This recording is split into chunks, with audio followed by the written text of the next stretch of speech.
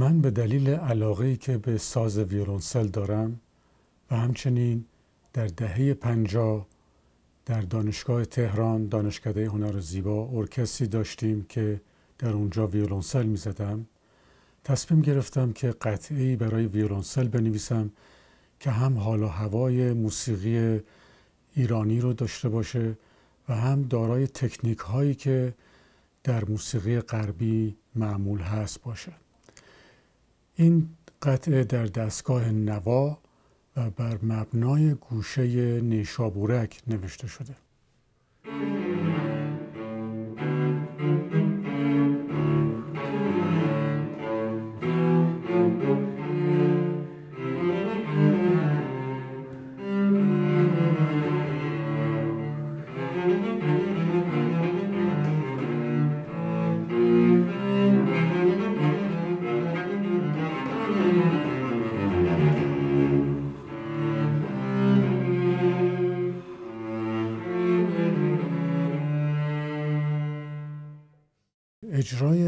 قطعه توسط یکی از بهترین نوازندگان امریکا به نام بنجامین کپس انجام شد که بسیار به نواختن این قطعه علاقمند شد و در دانشگاه میشیگان این قطعه رو اجرا کرد و همچنین در همون دانشگاه که سمت استادی داشت داره این قطعه رو به هنرجوانش تدریس می‌کنه. When I first saw these pieces, I thought, yeah, yeah, this will be a really fun project. It should take me about a week to get them together, maybe a couple of weeks for recording shape. Uh, and the, the more I got to know them and the more I noticed the expectations of the, the composer, um, the more I realized it was going to be more like a matter of months, um, plus a little bit. So uh, the experience of learning them was, was very unique. We, we did a lot of um, we spent a lot of time communicating about how I would interpret these works to make sure that we really captured the spirit that uh, Davoudian had in mind.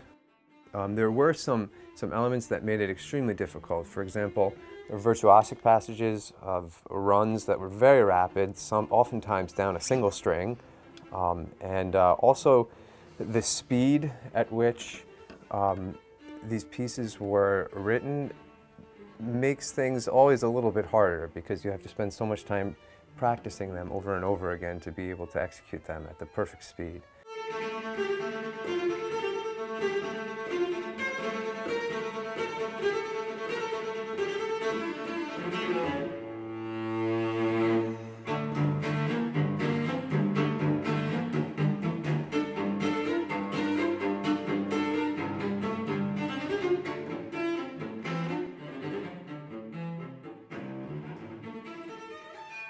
Quite obvious to the listeners that there's a lot of material that's virtuosic, um, fast, and very colorful, demanding a lot from the performer. Um, but then at the same time, there are sections that are more on the lyrical side of music and, and offer the performer and the listener uh, more room to, to experience the music. Maybe silence becomes even a part of the piece at times, how long you wait in between phrases, for example. Um, and then there are also sections that kind of exist somewhere in between both of those extremes. And this, in a way, can sometimes be the most challenging parts, where you're not playing something that's completely virtuosic and you're not playing something that's uh, entirely lyrical. And you have to somehow blend the two styles to make a more um, center line type of musical expression.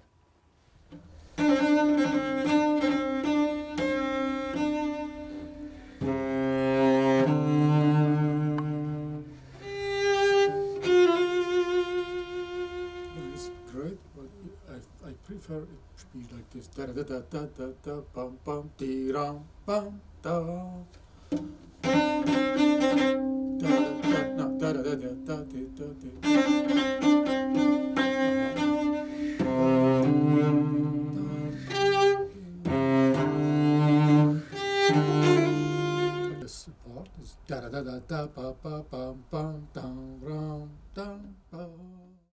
As a Western musician, it's not often that I come into contact with Persian music.